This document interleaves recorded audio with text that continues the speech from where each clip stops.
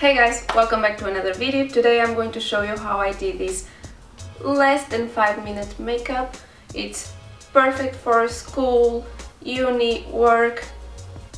For example, today I'm grabbing lunch with my grandma and I'm going for this makeup because I just don't want to put a lot of effort, but I want to look, you know, put together and alive and healthy and I just really like this look for that. So yeah, if you want to see how I did this, just keep on watching.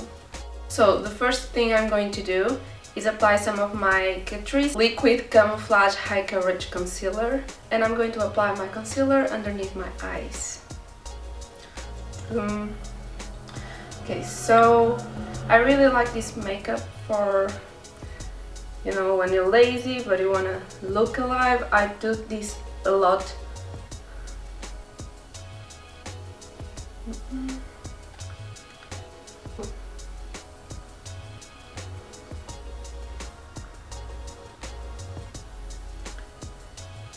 Now I'm going to use my powder from Catrice, the Prime and Fine Mattifying Powder in Translucent and I'm going to set my under eye area.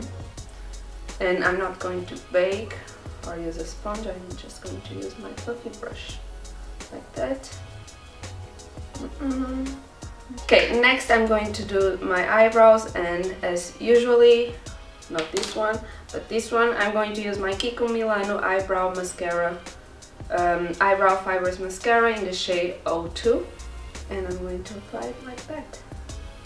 You know, the same thing I do every day, just like that. In the morning I spend probably less than 5 minutes doing this just doubt, doubt, doubt, just doubt, doubt, doubt.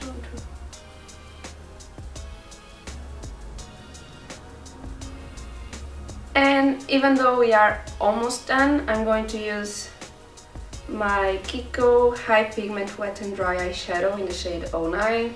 I always use this, I think my eyes look way better when I do this because it lifts my eyes and I love that and I'm going to use this as an eyeliner in the like second half of my eye only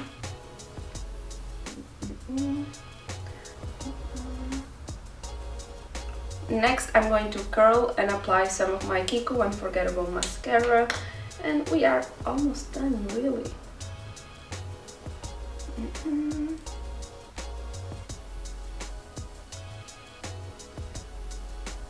Until the end of last year, I was really, really not against. Um, I didn't like the clumpy mascara look, but now, I, I don't know why, I just, it's clumpy, okay, as long as they have volume. I'm okay with clumpy eyelashes.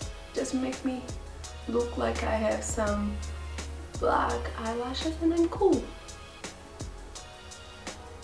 To finish my makeup, I'm going to apply my Essence Color Up Shine On lipstick in the shade 10.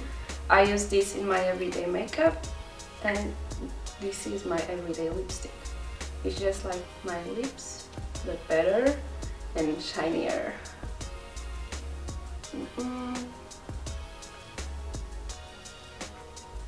And this is it for this super quick little video. I hope you enjoyed makeup and and this is it for today's video. I hope you enjoyed it and see you next one. Bye